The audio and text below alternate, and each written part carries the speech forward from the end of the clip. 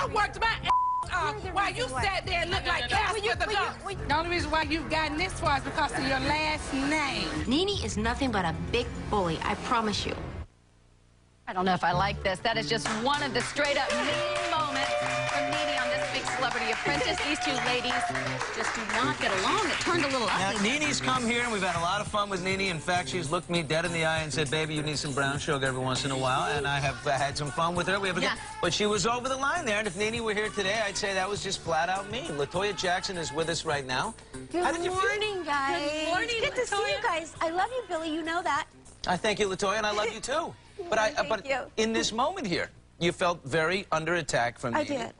And I thought you handled yourself as well as you could. Well, how did that get to that point?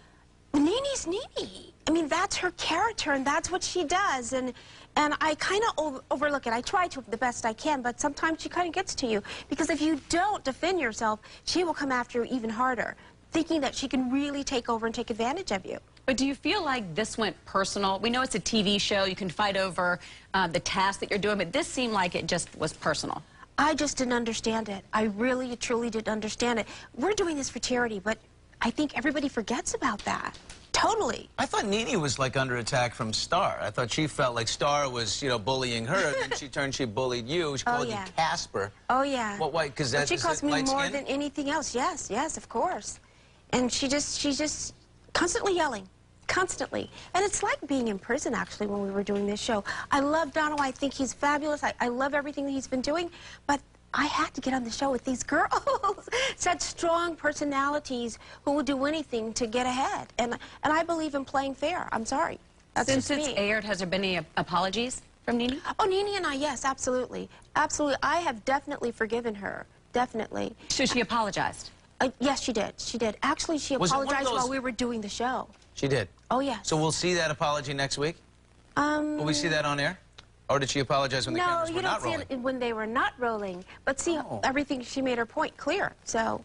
What'd it's she easy- say off camera, it's- though? She, t well, she told me to uh, do a lot of things to Star, which of course I wasn't going to do.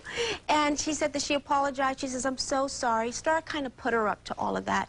Actually, Nene was Star's mouthpiece, and she didn't realize that.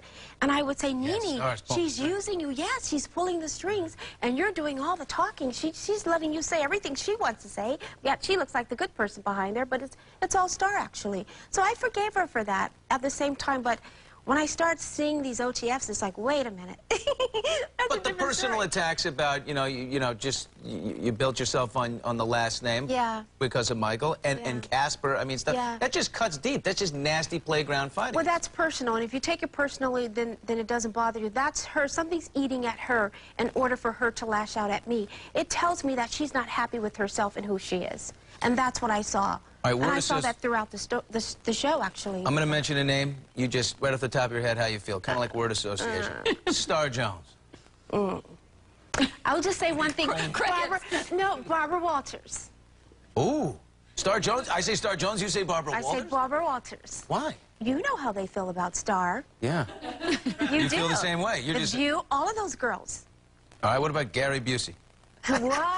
Wild and crazy. He really is. He's wild and crazy. They call him unconventional. They call him, you But know, he's untraditional. but They're you being nice, Billy, right? He is very smart. This is a smart guy. He's very clever. But then he goes left. It's just it's like Gary what happened? Busey's the perfect example. I feel like the men kind of took over and helped Gary out, but the women were Yeah. so catfighty, and I Yeah. guess typical for what we think what we'd women do. Isn't that sad? It's so sad. And I think they didn't like the fact that Donald kind of would give a compliment here and there, and they just didn't. They didn't like it.